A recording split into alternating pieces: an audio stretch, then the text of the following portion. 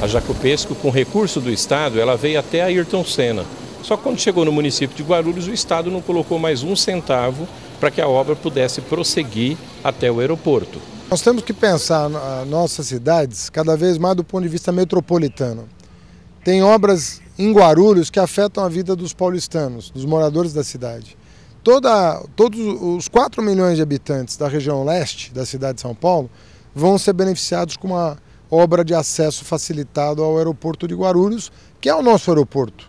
Então, se nós quisermos ter uma logística melhor, um melhor atendimento, desenvolver a Zona Leste de São Paulo, que vai passar a ser uma das prioridades do nosso governo, no sentido de levar empresas, serviços, é, nós vamos ter que pensar o entorno da nossa cidade. A região metropolitana tem uma unidade, essa unidade precisa ser valorizada e hoje fazendo essa visita aqui na, na obra da Jacopêssego, que passa a ser uma obra não só do interesse de Guarulhos, mas uma obra de interesse metropolitano. Vai ser bom para o desenvolvimento de São Paulo, vai ser bom, bom para Guarulhos, bom para São Paulo e eu fico feliz da gente poder trabalhar agora em conjunto, com mais força, com mais união, para conseguir os recursos necessários para executar essa obra.